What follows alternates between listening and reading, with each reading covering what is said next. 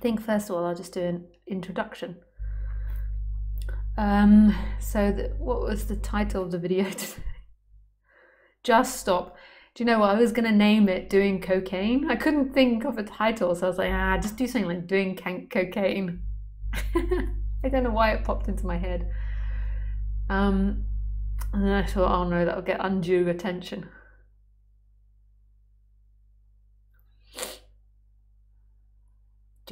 Cocaine. I might be get barred off YouTube.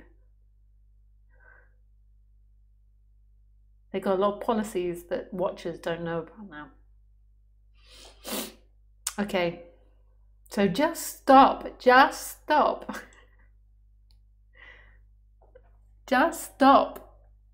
Just stop. I think that's too loud. Just stop. Um, well,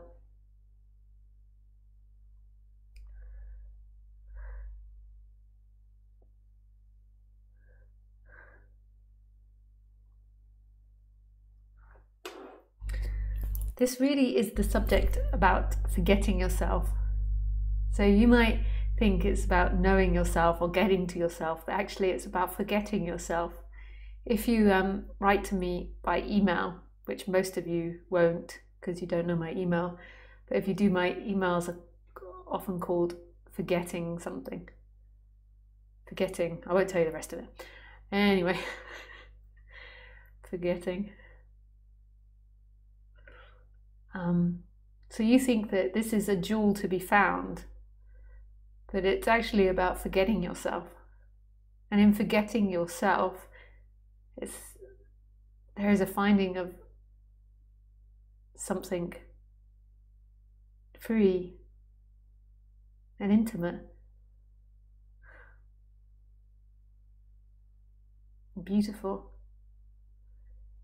It's not about being a particular way.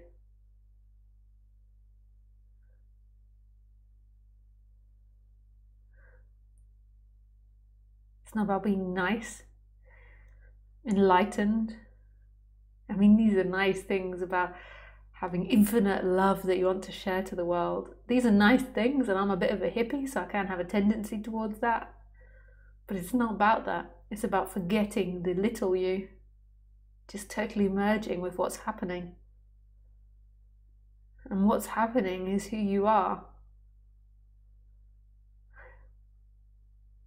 Now I've got to make this somehow fit into just stop.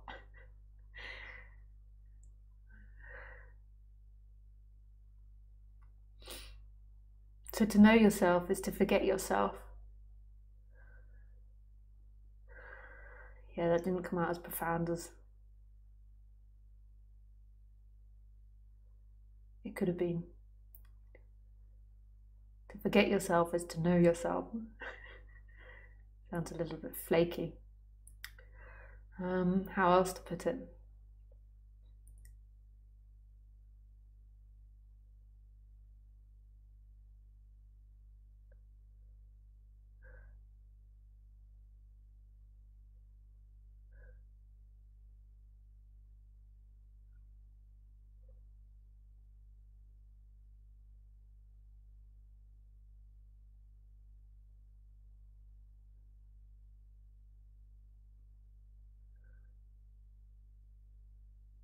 There is nothing that you can hold on to. Nothing. That's where all your problems began. It's trying to hold on to life, yourself, your belongings, your things, everything you've achieved, and it's never going to work.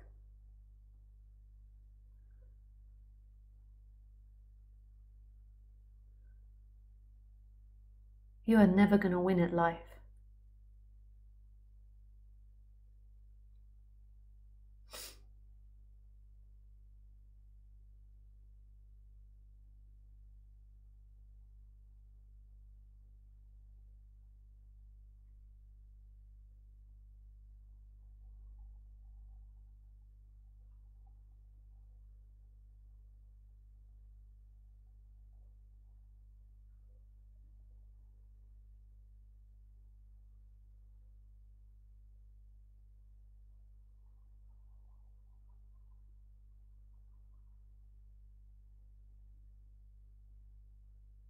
So, what is it?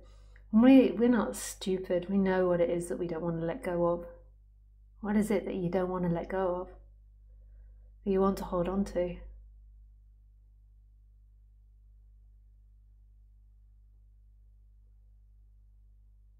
There's nothing in this life that's going to give you what you look for. So maybe you've finally found the perfect partner and you're afraid of losing them. It always comes like that. When you think that you've found something in this world, then the fear will come in about losing them. The perfect situation.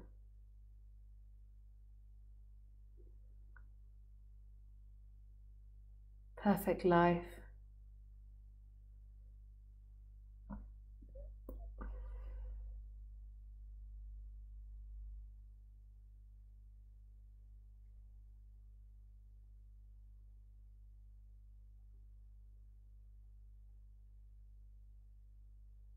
When you fear, you'll lose it.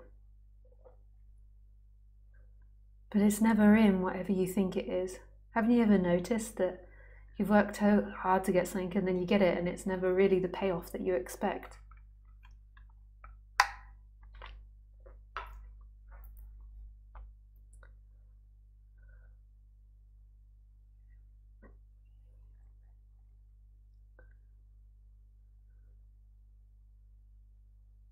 It's not about intellectually working yourself out, working out all your problems and becoming a perfect version of you that's not conditioned.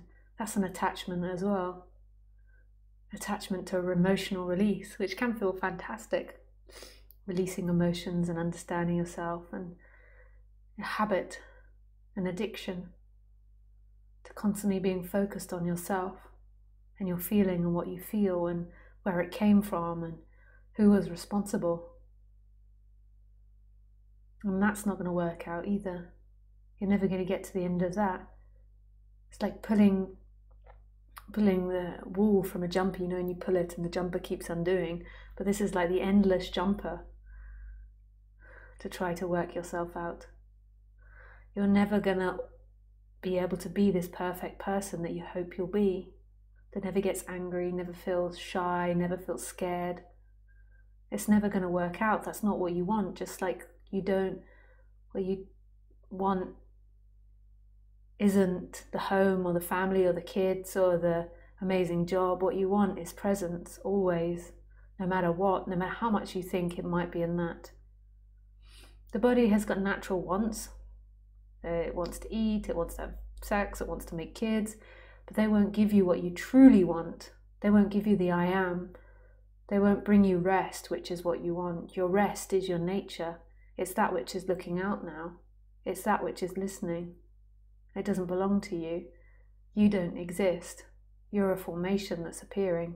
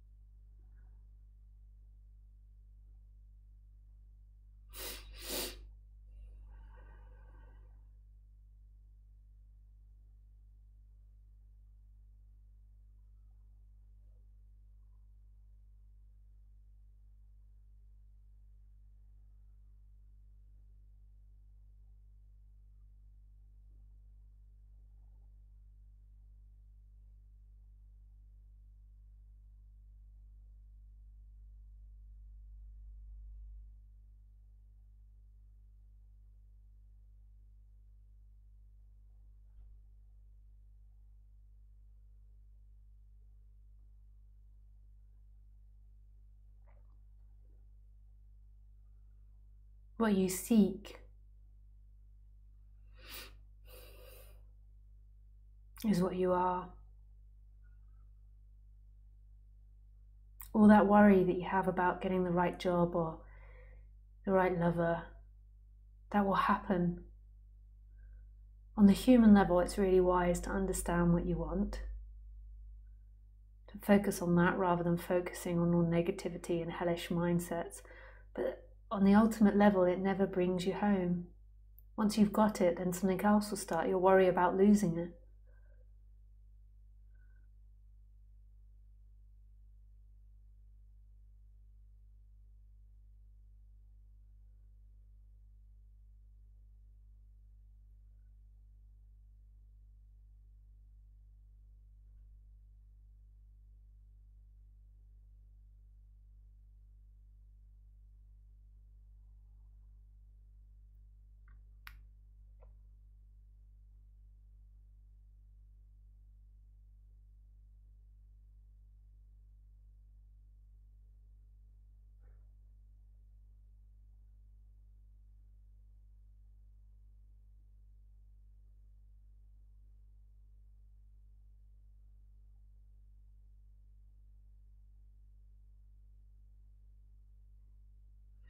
On the human level, however, it's important that you know what you want and you focus more on that.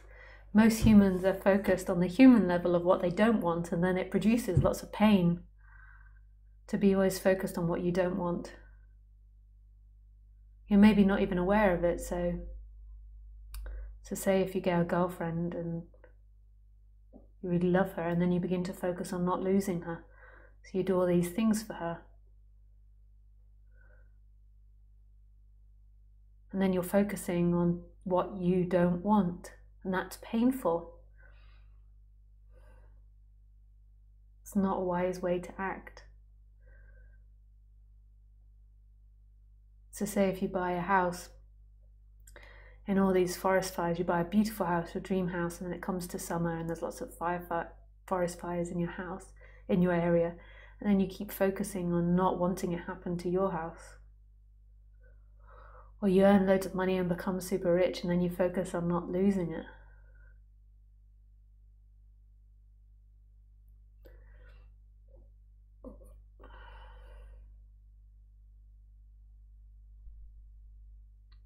Whereas a balanced way to be is to acknowledge these things, but to be more focused on what it is you want in an expansive way, in a greedy, selfish way. I want my partner to feel loved and happy. I want to feel loved and happy. I am loved and happy. These are the thoughts you want to recondition your thinking mind to think. But that conditioned thinking mind, that thinker, isn't who you are. That thinker is not the one that gets enlightened. It might change, it might recondition itself in the process. But what this is, is a movement back to that which is beyond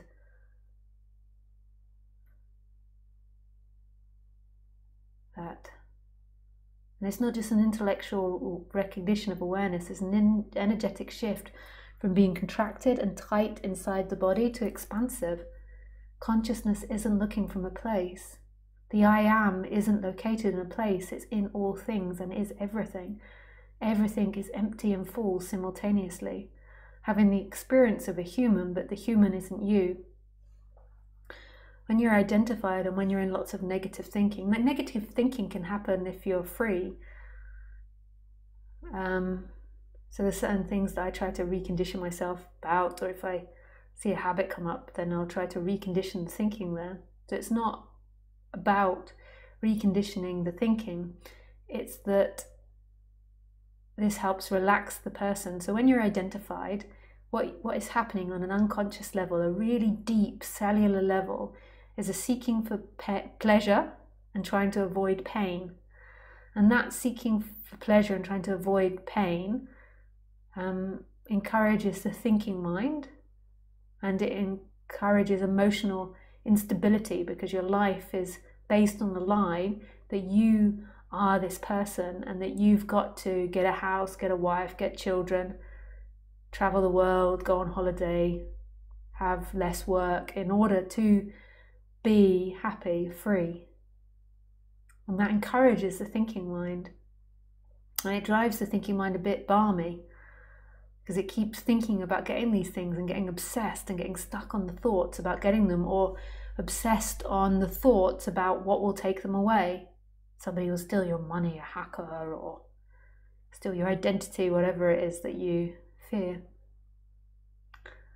And then that's that seeking in this mental energy. And then the mental energy creates havoc in the emotional body.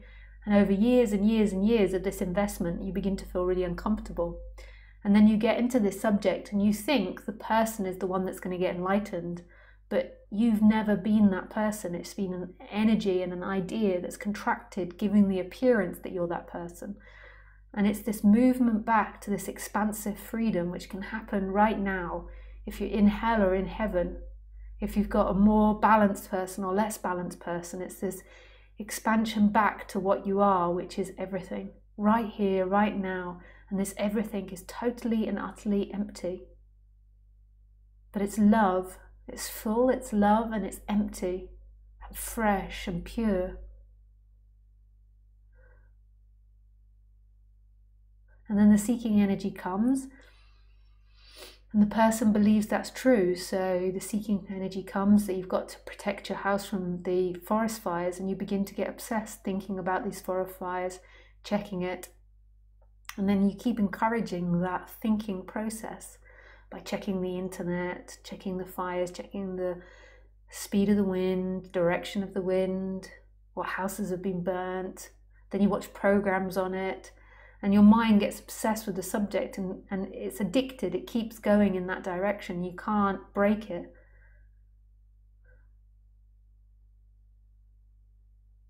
And you really believe that something will be taken away from you if you lose your house. Whereas as you begin to expand and grow on the human level, financially and with family, you'll realize nothing is it. You think, yeah, I get the house, and when I move out of the apartment, the rented apartment, I'll finally be able to breathe and it'll be mine. But it's not like that. You'll never feel like something's yours and that you'll own it.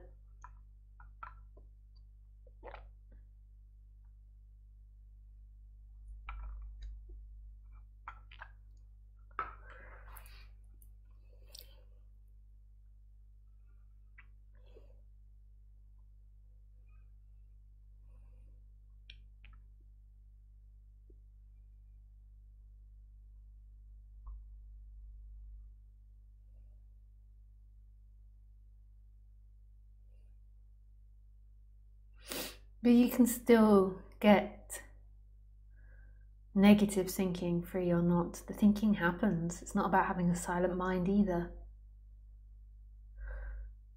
But I, I am aware that focusing on what you want makes you a more balanced, happy person.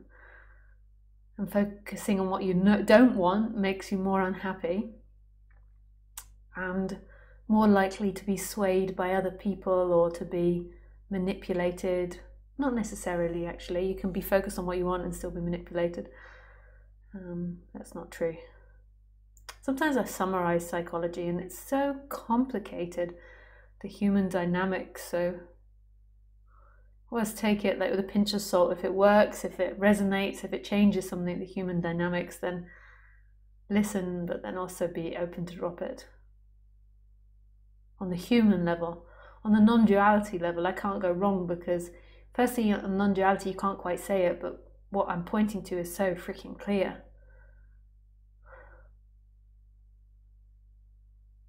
It's like clear cut. There is nobody experiencing this, and who you are is everything.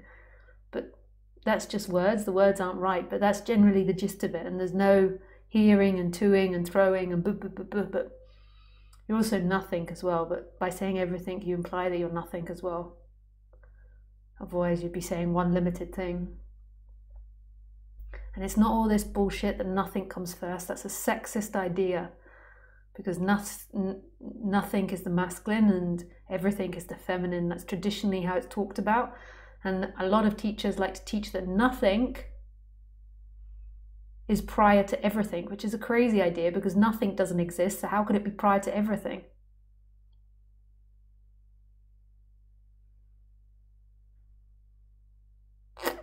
It doesn't exist, it never exists. There's only ever nothing and everything.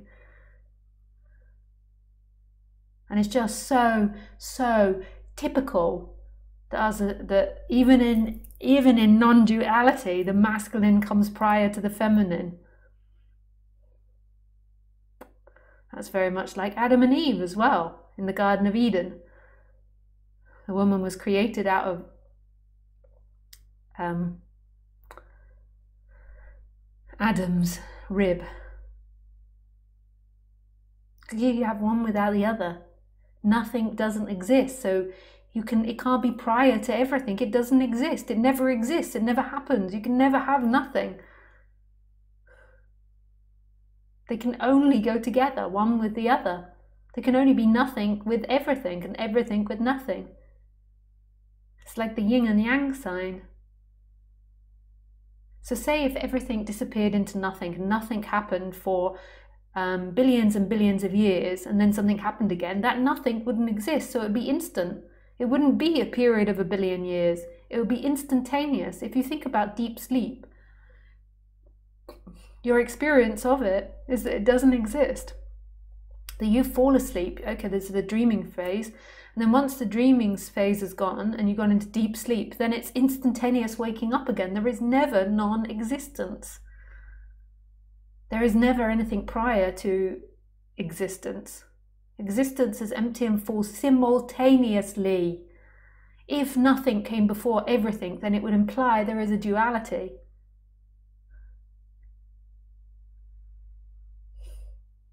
And imply, imply there's one thing that is over the other.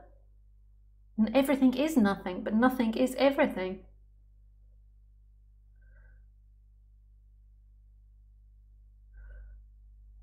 And it's not just me that says this, a lot of speakers say it. And I understand what they're trying to point to. It's e- and it's easy to say nothing, nothing, nothing. Like it's easy to point to and it's kind of fitting. This world came from nothing and we'll go back into nothing.